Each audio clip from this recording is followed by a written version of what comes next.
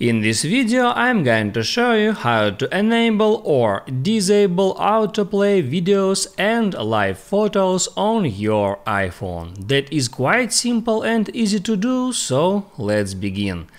And first, open up settings and there scroll all the way down until you find photos and there scroll down for a bit and find autoplay videos and live photos.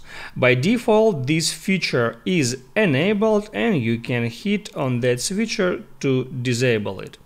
And uh, let me show you how this feature works if it's enabled. I can open up my photos and uh, now I can open for example my videos album. And uh, now from here I can just tap on that video to play it.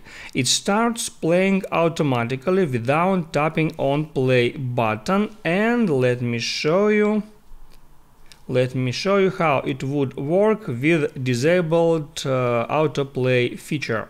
I just disabled it, now I can go back to photos, I tap add video and uh, here is play button and as you can see video does not start playing automatically. I can hit add play button to start playing the video and uh, that's how this feature uh, works so you can in any time enable or disable this feature if you want. I hope this video helped you out. Don't forget to like and subscribe.